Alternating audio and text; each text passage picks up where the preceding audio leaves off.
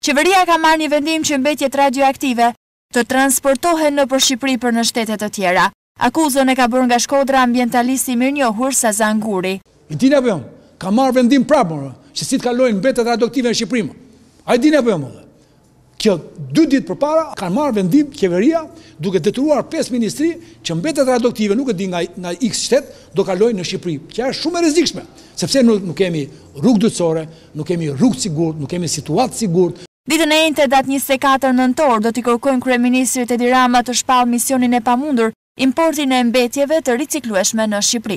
Ne, si ekspertë teknikë, Grupi i Unionit të Ekspertëve Mjedisorë, Grupi i Gazetarëve, Grupi i Juristëve, Grupi i Avokatëve, Grupi i Profesorëve, Grupi i Studentëve dhe Grupi i madh i Qytetarëve të Shqetësuar, ne i kërkojmë Kryeministrit Edi Rama ditën e enjte, më datë njëzet e katër të këtij muaji, që të shpallë mision të pamundur, sikundër shpalli tre vjet përpara mision të pamundur ardhjen e plehrave kimike, sot të shpallë ardhjen e mbetjeve të importit.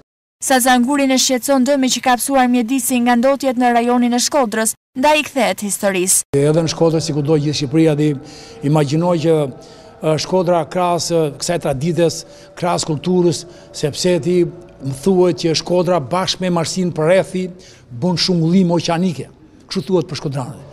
Shkodra, kryeqytet i Europës, është thënë 100 vjet përpara që qo, sot thuhet qoftë se s'ke parë Londrën apo Parisin, s'ke parë jetën. 100 vjet përpara është thënë që qoftë se s'ke parë Shkodrën, s'ke nuk e ke gëzuar dot jetën. Pra, kjo ka qenë Shkodra kryeqytet i gjithë pellgut europian, i Austrisë, i Perandorisë Otomane kryeqytet. Por sot po humbet që që ne sot qëllimisht ndoshta duan ta vrasin shqiptarin duke na sjellë gjoja projekte me fjalë të huajt, edhe në fakt ne kemi qenë mjeshtra të ndarjes së mbetjeve para viteve nëntëdhjetë. Ai siguron se ambientalistët kanë biseduar me të gjitha grupet parlamentare dhe kanë siguruar tetëdhjetë e pesë deri në tetëdhjetë e shtatë vota që të enjten të miratohet në Kuvend dekreti i presidentit që shfuqizon ligjin për mbetjet e riciklueshme. Sazan Guri, Për këtë ka shumë besim. Kauza është e fituar, di.